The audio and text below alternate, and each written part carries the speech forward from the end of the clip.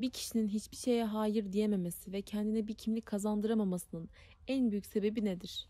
Genellikle çocukluk dönemindeki yetiştirilme biçiminde şey vardır. Hayır dersen sevilmezsin. Hayır dersen yalnız kalırsın. Hayır dersen mutlu olamazsın tarzında bu şekilde doğruların olduğu bir aile ortamında büyütülmüştür. Annenin babanın da tutum hataları şöyle oluyor böyle durumlarda. Çocuğa devamlı duygu sömürüsü yaparak büyütülüyor çocuk. Farkında olmadan çocuğa öyle bir şey veriliyor ki mesela bunu yapmazsan seni sevmem ha diyor annenin sevgiyi bir sopa gibi kullandığı, annelik rolünü tehdit olarak kullandığı, babalık rolünü tehdit olarak kullandığı ve bunu maalesef iyi niyetle yaptığı durumlarda. Dediğimi yapmazsan hakkımı helal etmem sana. Göğsümdeki sütler haram olsun sana diyerek çocuğu büyütüyorsa. Böyle durumlarda annenin sevgisini kaybetme korkusuyla anneden babadan gelen her şeye evet deme duygusu oluşur onda. Duygu yönetiminde öğrenme kalıbı otoriteye karşı her şeye evet demem lazım. Her şey hayır dememem lazım. Öyle öğreniyor.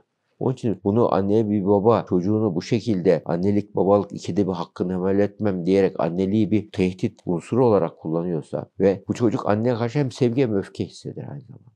Ve hep suçluluk duygusuyla büyümüştür bu çocuk. Genellikle istiyorsa bu kişi de öğrenmek istiyorsa tedavisi vardır.